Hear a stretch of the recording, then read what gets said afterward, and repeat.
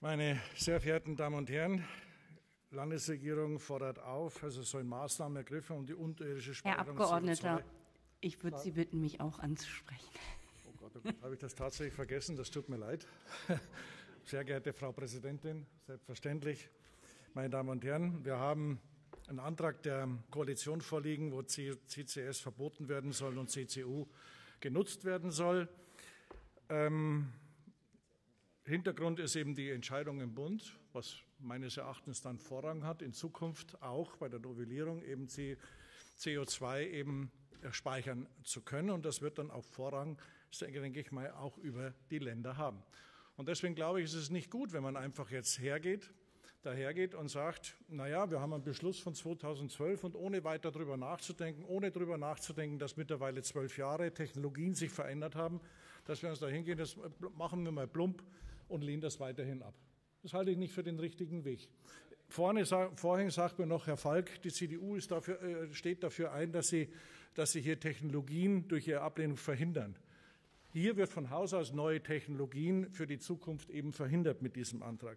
Und somit hat sich, um das überhaupt entscheiden zu kommen, ob man dafür oder dagegen ist, da stellen Sie doch erst mal zig Fragen die man erstmal vorher abdiskutieren. Ich hätte mir mal gewünscht, dass man bei so einem Thema dann auch einmal im Wirtschaftsausschuss oder im Energieausschuss etwas auflegt und damit man mal darüber diskutieren kann, bevor man hier einfach hingeht und sich einseitig hinstellt und sagt, naja, jetzt verbietet man das einfach so ganz pauschal, ohne irgendeine äh, nennenswerte Begründung. Ich will Ihnen mal sagen, was uns da für Fragen aufgeworfen, äh, äh aufgeworfen sind. Ähm, Sie reden ja von geeigneten Lagerstätten. Und ich würde mich ja fragen, von Feldberger äh, Löcknis und Feldberger Seenlandschaft, ich würde mich auch immer fragen, auf welcher Grundlage denn überhaupt diese Lagerstätten dann ermittelt worden sind. Sicherlich wird im Bund, gibt es eine Stelle, die das mit, mit ermittelt, aber ich würde mich schon interessieren, was das hier im Land gesagt ist. Sei denn, Sie haben solche Unterlagen, Sie haben solche Gutachten, dann zeigen Sie mir die, wir haben sie nicht. Wir haben in der norddeutschen Tiefebene unter der Nordsee geeignete Gesteinsschichten. Und die Frage ist ja, wurden auch bei uns beispielsweise geologische Gutachten äh, von konkreten Standorten durchgeführt? Und wenn ja, wurden beispielsweise auch Lagerstätten in der Ostsee, nicht nur in der Nordsee, sondern auch in der Ostsee untersucht, beispielsweise? Ist das, ich weiß es nicht, ob das gemacht worden ist, aber die Frage stellt sich mir dem auch. Und wenn man dann zu den Speicherkapazitäten kommt, dann ist ja die Frage, Sie reden ja von einer Nutzungskonkurrenz, also wir brauchen die Speicher sozusagen für den Wasserstoff und deswegen wollen wir den, äh, den CO2-Speicherung eben ausschließen. Da frage ich mich, von welchen Speicherkapazitäten gehen Sie denn aus, dass Sie einen gegenseitigen Ausschluss oder Vorrang dort einlegen? Äh, haben Sie Berechnungen über Speicherkapazitäten, äh, was den Wasserstoff angeht, was die CO2 äh, angeht? Das liegt doch gar nicht vor. Deswegen kann man doch gar kein Urteil darüber fällen, ob das oder das das Richtige ist. Das ist doch, das ist doch nicht seriös. Und, wenn's, und wenn es diese wenn es diese Nutzungskonkurrenz zwischen CCS und geplanten Wasserstoffspeicherungen gibt, ähm, dann sollte das eben quantifiziert werden. Ähm, wir haben eben, wie gesagt, keine Daten. Und also äh, fasse ich zusammen, dass ein generelles Verbot in CCS, so wie Sie es in Ihrem Vortrag, äh, Antrag vorschlagen, ähm, vorher eine sachliche Prüfung umgesetzt werden. Wir brauchen da Prüfberichte, wir brauchen auch eine Datengrundlage, damit man überhaupt entscheiden kann, was ist der richtige Weg, wenn denn vom Bund her in Zukunft dieser Weg aufgemacht wird, was vorher nicht möglich war. Und darüber muss man sich das auseinandersetzen, was für das Land Mecklenburg-Vorpommern das Beste ist. Dann kommen wir aber auch zu der, zu der, rechtlichen, zu der rechtlichen Bewertung. Und angesichts der bevorstehenden Gesetzesänderung auf Bundesebene die CO2-Speicherung in Deutschland zu erlauben, ist es fraglich, ob die Forderung des Antrags auf Landesebene dann überhaupt umsetzbar wäre. Ähm, wir wissen das, Bundesrecht bricht Landesrecht. Und ist es möglich, dass MV, CCS ähm, sozusagen eigenständig verbieten kann? Ich weiß es nicht. Ich habe den Gesetzentwurf nicht gelesen, aber diese rechtliche Bewertung, ob das nun richtig ist oder falsch ist, das kann ich doch eigentlich erst, das kann ich doch erst um, äh, äh um machen, wenn ich diesen Gesetzentwurf in der Gänze eben überhaupt kenne.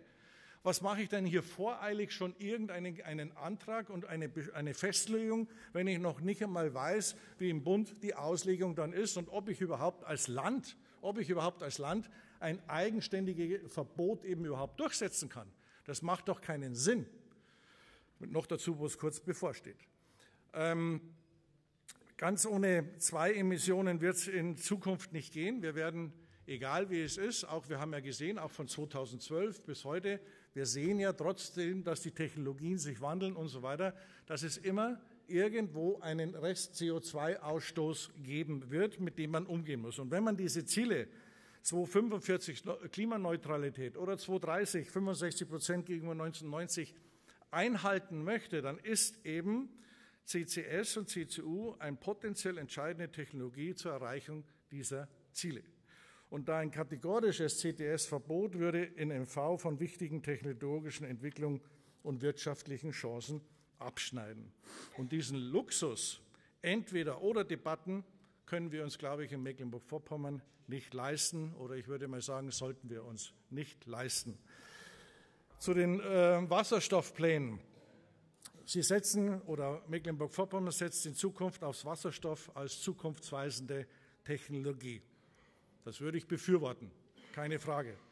Und deshalb ist es wichtig, was ich vorhin schon sagte, dass man diese Nutzungskonkurrenzen identifiziert und abwägt. Und zur Wahl gehört aber auch dazu, dass viele dieser Wasserstoffpläne noch nicht oder noch in der Entwicklung sind.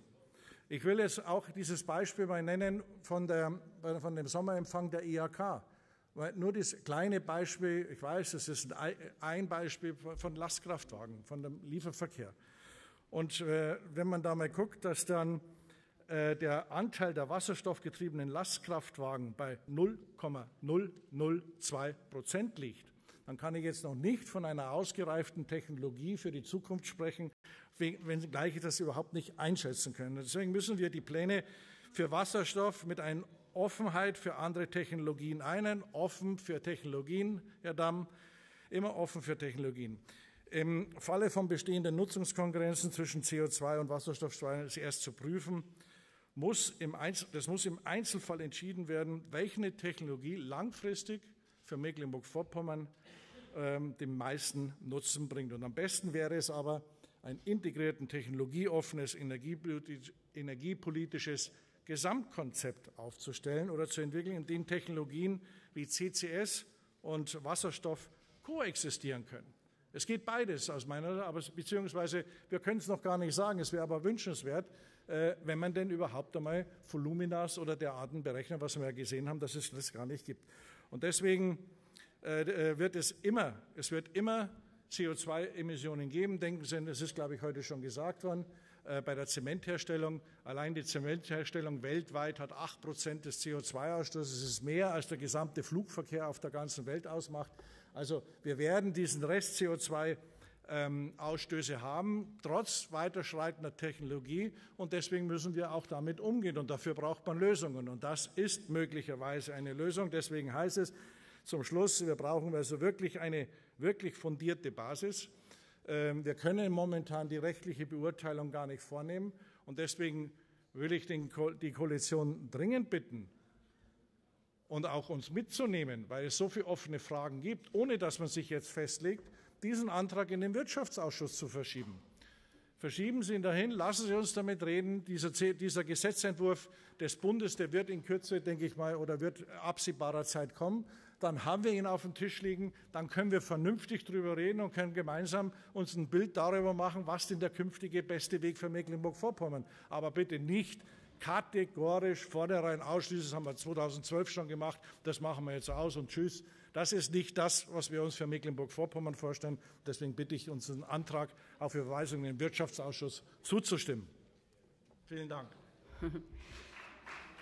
Vielen Dank, Herr Abgeordneter. Das Wort hat jetzt für die Fraktion